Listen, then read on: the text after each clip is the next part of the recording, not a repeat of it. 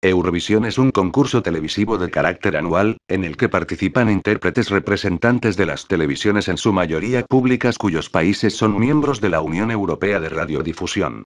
El festival ha sido transmitido cada año desde 1956, siendo el programa de televisión más antiguo que aún se transmite en el mundo, recibiendo en 2015 el récord Guinness como la competición musical televisiva más longeva del mundo.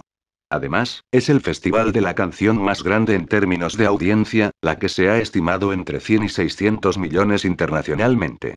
El evento es transmitido en todo el mundo, incluso en países que no participan en el mismo. El festival es históricamente conocido por ser promotor de música pop.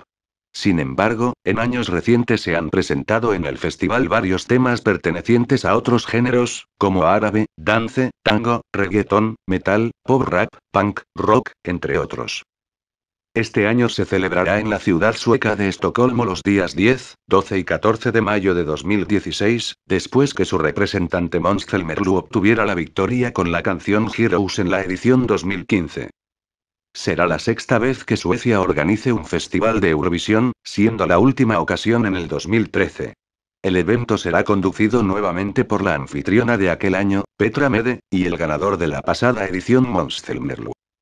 El lema de esta edición es Comtugeter. Vamos juntos en español. En esta edición participarán 43 países, igualando el récord de participantes alcanzado en el 2008 y 2011. Bosnia y Herzegovina, Bulgaria, Croacia y Ucrania regresan al festival, y Australia volverá después de debutar como país invitado en la edición pasada. Por otro lado, Portugal es el único país que se ha retirado. Por primera vez desde 1975, el procedimiento de votación cambiará considerablemente. Cada país otorgará dos veces 1, 8, 10 y 12 puntos, una por el jurado profesional y otra por el televoto, manteniendo el 50% de la decisión cada uno por lo que con esta implementación se dejará de lado el antiguo sistema de promedios entre el jurado y los espectadores. Asimismo, durante la gran final, al igual que en las ediciones anteriores, cada país anunciará uno por uno las puntuaciones de su jurado nacional. No obstante, los resultados del público se darán a conocer posteriormente en un solo bloque, de modo que el ganador no se conocerá hasta el último momento de las votaciones. Según las casas de apuestas, los grandes favoritos para ganar este año son Rusia y la anfitriona Suecia, seguidos de Australia, Croacia y Malta.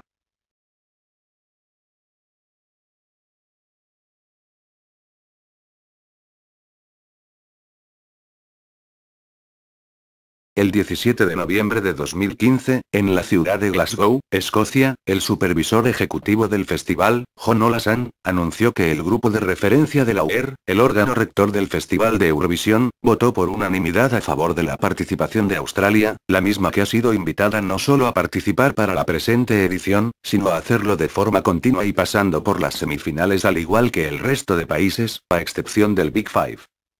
Asimismo, Siet Sebaker, miembro de la OER, afirmó semanas atrás que en países como Australia, China, Canadá o Sudáfrica, la gente mira a este concurso como una oportunidad increíble para la carrera de los artistas y de entretenimiento para los espectadores, por lo que estamos considerando ser inclusivos y de alguna manera involucrarlos en el Festival de Eurovisión.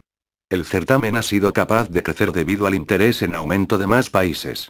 En el 2004 solo contábamos con una semifinal, en el 2008 se añadió otra, de modo que en algún momento tenemos que considerar la tendencia de ese interés.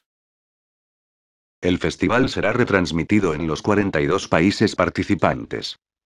Si había dicho que eran 43, estáis equivocados debido a la descalificación de Rumanía por motivos de pago de la televisión rumana, la TVR ya que cada país debe pagar por ir al festival una media de aproximadamente medio millón de euros. Los países no participantes que van a retransmitir el festival serán Andorra, Barbados, China, Estados Unidos, Hong Kong, Kosovo, Macao, la retirada en esta edición Portugal y Taiwán. Si tu país no va a retransmitir el festival, no te preocupes, puedes verlo online en la página oficial de Eurovisión, o en su página de YouTube. Mi opinión es que las canciones me han favorecido. Las que yo pienso que tienen más capacidad de ganar es Francia, Australia y Rusia. Sabiendo que mis favoritas son Grecia y San Marino. ¿Y tú qué piensas? ¿Cuáles son tus canciones favoritas? ¿Va a ser buen festival? Cuéntamelo todo en la caja de comentarios. Dale like y no dislike. Y perdón por estar más de un trimestre sin subir vídeos. Ya sabéis, los exámenes. Nos vemos. Chau.